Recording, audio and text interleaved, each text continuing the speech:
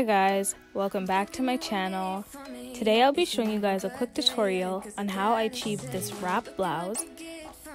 To create this top, you'll only need one and a half meters of fabric, your bodice pattern, and of course you'll need a sewing machine.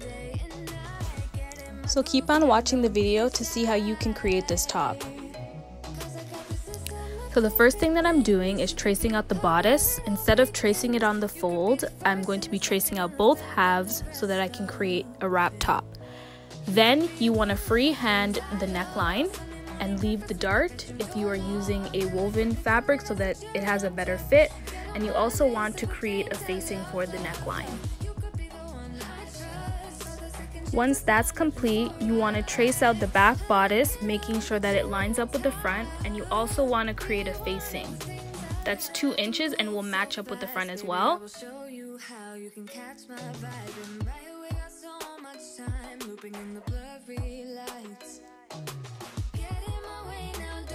Then you want to create your wrap ties to your desired length so that it can be wrapped around your waist.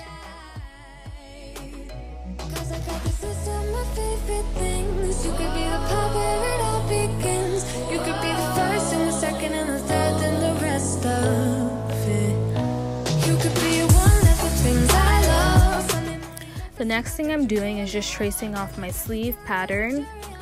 I want to have um, like a kind of a bishop sleeve. So as you can see, I'm gonna do a, the slash and spread method. So it's pretty self-explanatory. You guys can just kind of watch in the clip what I'm doing.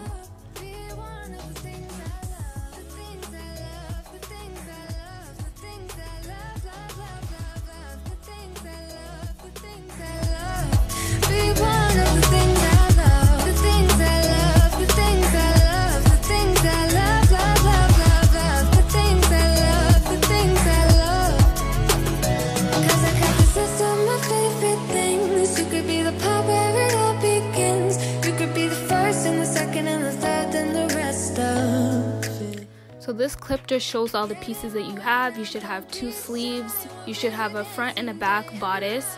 You should also have a collar.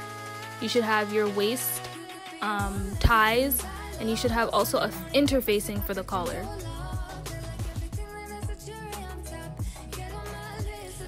So now that I'm at my sewing machine, I'm just sewing up my darts.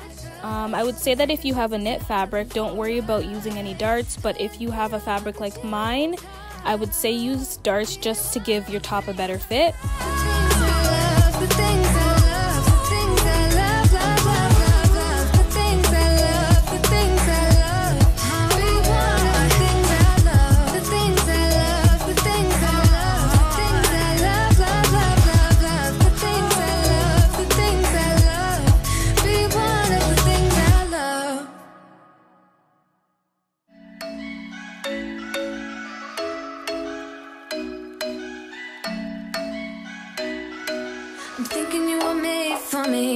Isn't my birthday yet? Cause I gotta say, you're looking like a gift for me. Wrapped up nice and neat, baby. Get in my way now, don't be shy. We'll be here dancing day and night. Get in my groove now, don't be shy.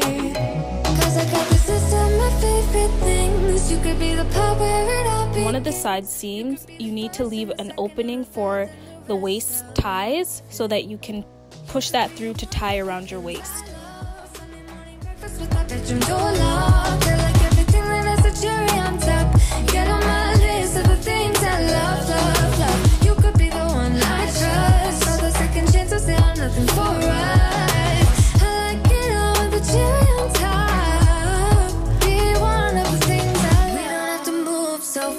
Baby, I will show you how you can catch my vibe And right so much time Looping in the blurry lights.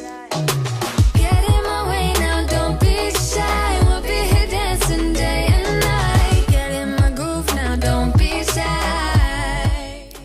Now I'm just ironing down my interfacing to my collar and once I'm back at the machine I'm going to be sewing my collar together using a quarter inch um, seam allowance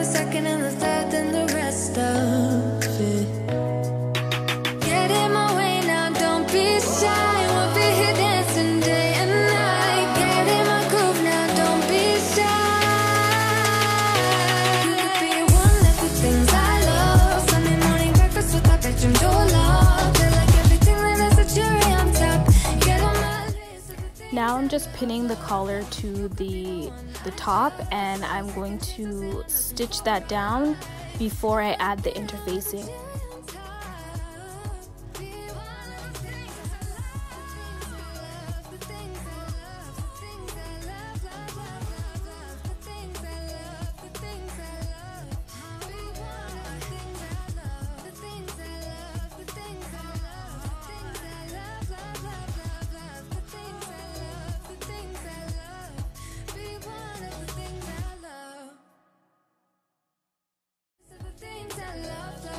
Basically what you're going, you're going to be doing is sandwiching the collar in between the top and the interfacing.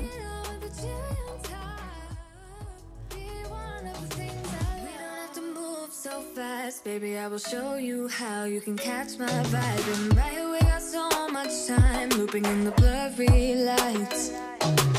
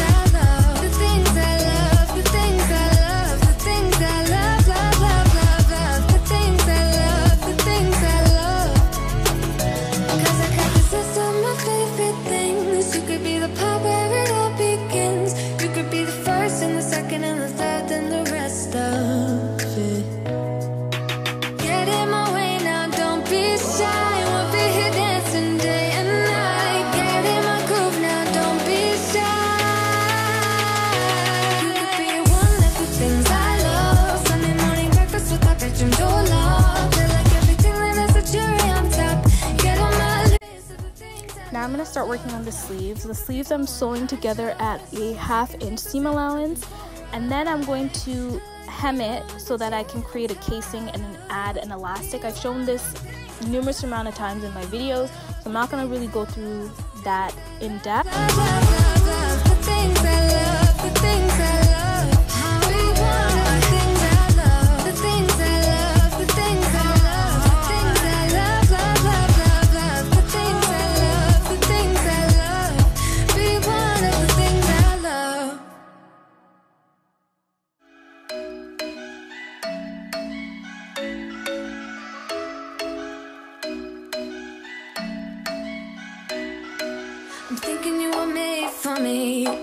My birthday yet? Cause I gotta say You're looking like a gift for me. Wrapped up nice and neat, baby.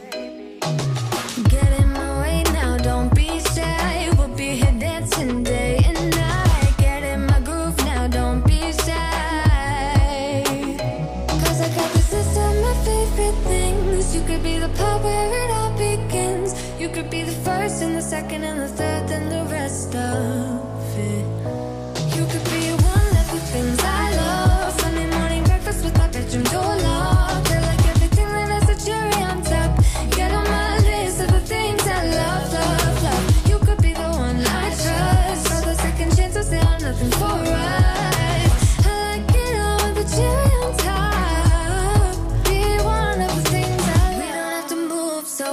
Baby, I will show you how you can catch my vibe. And right away got so much time Looping in the blurry lights